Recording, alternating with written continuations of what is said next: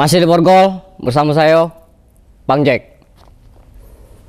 Nah ini ada ada yang nunggak pajak nih lur. Ribuan kendaraan milik Pengkap Merangin ternyata mati pajak nih. Waduh, waduh. Mirisnya lagi salah satunya kendaraan operasional milik Bupati Merangin dengan nomor polisi BH1F. Untuk itu pihak Samsat meminta agar Pemkap Merangin untuk memanfaatkan pemutihan pajak untuk membayar pajak kendaraan dinas yang nunggak nih.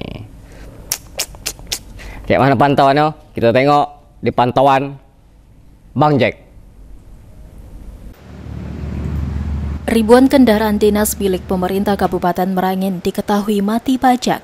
Dan anehnya lagi, kendaraan yang mati pajak ini milik pejabat teras Merangin yakni BH1F dan BH2F yang diketahui hingga saat ini belum melakukan registrasi daftar ulang ke UPT Samsat Merangin.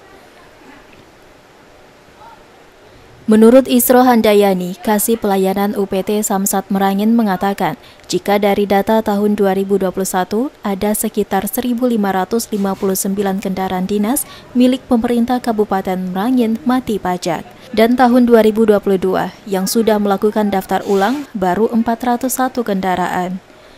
Untuk itu, pihak UPT Samsat Merangin mengimbau agar pemegang kendaraan dinas ini dapat memanfaatkan program Gubernur Jambi yang saat ini melakukan pemutihan pajak dari tanggal 19 September hingga 19 Desember 2022.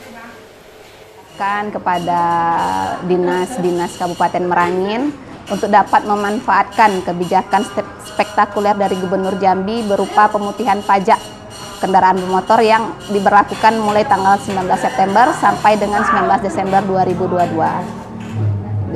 diharapkan juga untuk untuk mengetahui bahwa kendaraan apabila tidak ad, tidak diperbaharui pajaknya masa berlakunya mati selama 2 tahun maka akan ada penghapusan regiden kendaraan.